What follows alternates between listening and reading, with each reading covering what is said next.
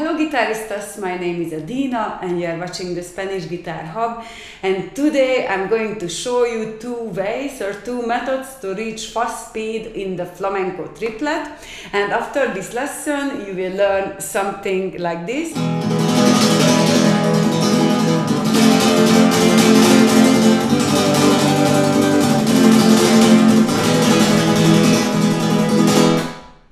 I just would like to say that I have a guitar course which is called Spanish Guitar Strumming Techniques and it has 19 lessons and loads and lots of exercises, very similar lessons to this one so you can learn like rumba, the flamenco triplet, up and down strumming to go st fast with your strumming and rasgueado and it's available on Amazon or on my website on the link below.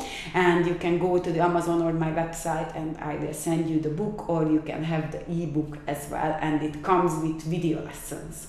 So for this lesson you will need a metronome because we need the metronome to get faster and faster. Without that one we, it will be difficult to track our progress. So the flamenco triplet contains three movements and it is basically going down with your middle finger or middle finger and ring finger together as you wish and after you turn your wrist and you use your thumb and after you need to turn back. So movement with the fingers but do not move anything else and after you turn your wrist turn back. One, two, three,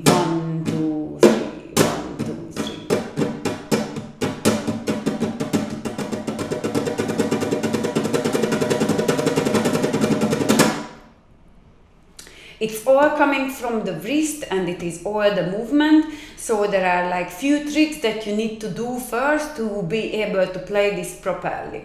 I just would like to say that flamenco players start the triplet in a different way because they start up with the thumb and I start down. But the reason why I start down because I would like to add later on the hits with few times and the only way to add the hit is starting down because it's one, two, three, and if you start up then it is one two three and you are turning so you can't put the hit okay because everything is coming from the wrist this is the movement. So what you need to be able to reach is play down and up with your wrist and thumb why everything is coming from the wrist.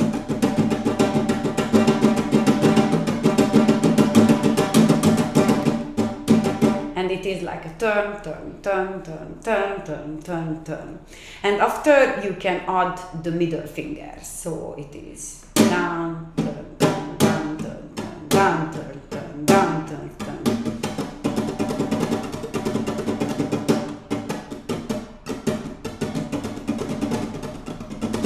As you can see, I do not move my arm, I'm only moving the wrist. And if you move your arm, you won't be able to go fast and later on you need to reach a high speed. So the only way to do that one without getting tired as well to do everything from the wrist because later on it is like a shaking movement. So there are a few things that you need to do before you start using the metronome and the first thing is to make accents. So you can do like an accent on the down and after don't do any accents on the other ones. Accent means that you play a little bit louder the movement and after you will play a little bit quieter the rest. So it will be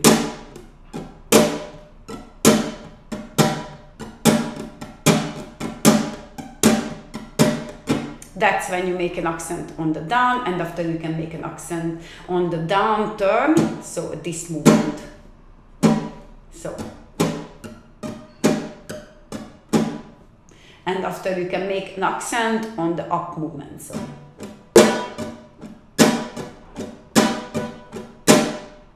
Once you can do all of these things the next thing that you need to practice is use your wrist and because every movement have to come from the wrist.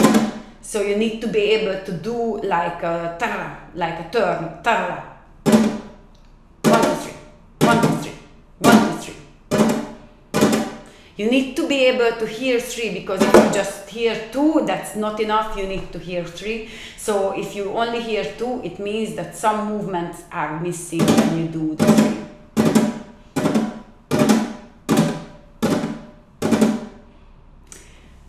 After this, we are going to the first method to be able to play fast. Okay, now we know the movements, now we know that it comes from the wrist and that we have to do it with the turning movement and we need to go fast, so we will start using the metronome. I will put up my metronome to 100 BPM and then I will do one strum per beat and we will start going faster. You can start slower as well if you want or even faster, it is up to you where you start. But you need to start slow. So then we will play one movement with the metronome.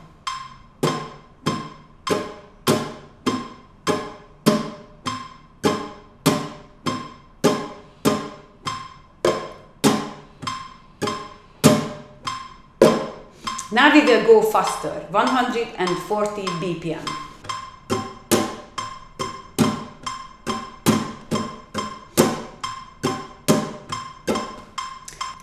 And 180 BPM.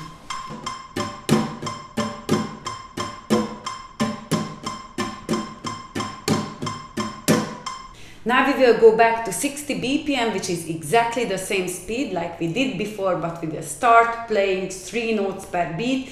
That will be the easier. So it means that you will know whenever you hear the beep, you just need to go down and then when the beep is, then you do the down.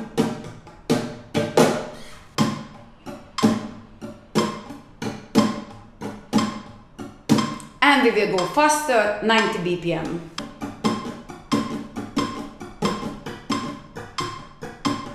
if you feel like that you cannot keep up with the rhythm. This is your speed and you need to practice it like quite a lot every day until you reach the speed that you want. If you feel like that you won't be able to go faster you need to look at your technique.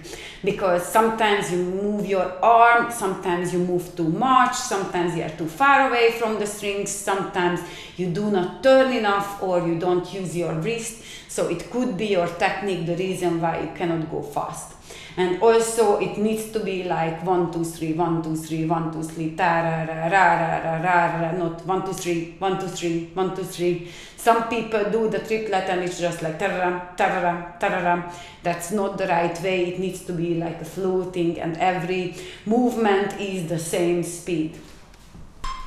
The next progression is 120 bpm to keep the speed better, it is great to use the leg. I'm using my leg with every beat, so it means that my whole body is moving, I'm more on time.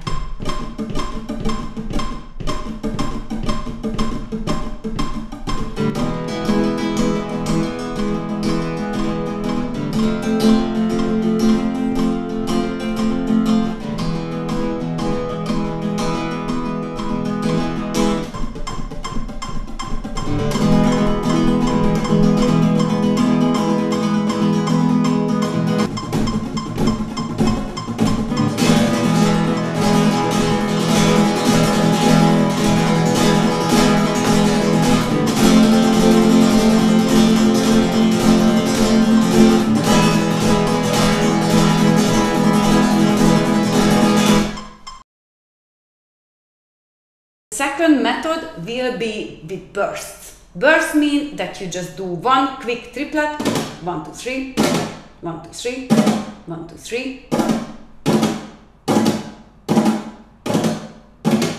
And now we will use the metronome to connect these triplets and we need to reach again 200 bpm so it means that you need we need to hear like breaks in between the triplets until we reach our speed if we do it fast enough. So let's start this speed with 60 bpm and we will just do burst and burst and burst and burst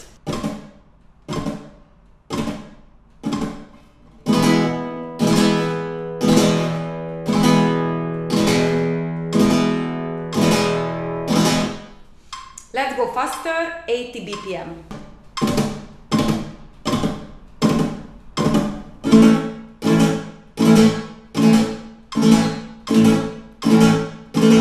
One hundred BPM.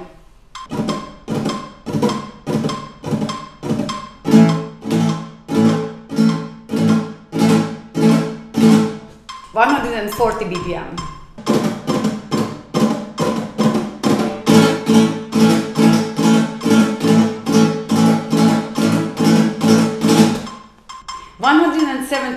BPM and we should still hear breaks in between the triplets.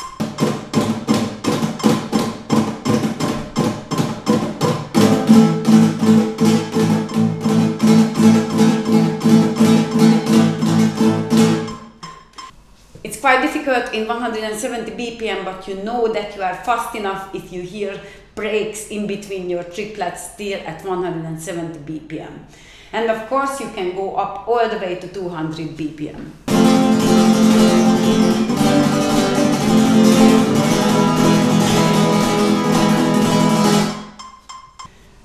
Quite fun technique actually and you can use it in a lot of different situations. You can progress it more and then you can start adding the hits.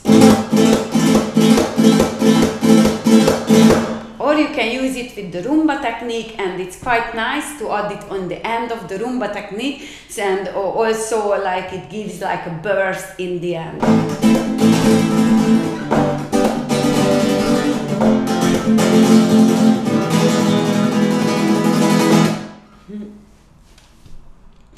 If you like this lesson, please hit the like button and subscribe for more videos like this because I'm uploading videos on Sundays and I hope this video will help you to play better, to play more Spanish music and please spread the word among your friends and let's make Spanish music even more popular. And see you guys next week with another guitar video. Hello guitaristas, my name is Edina and you are watching the Spanish Guitar Hub. And today we are going to learn how to sound more Latin when we add special harmonies to our scales. And in particular we will look at the sixth note of the scale. So we will learn the C major scale in two different positions, we will make up melodies and harmonize them. And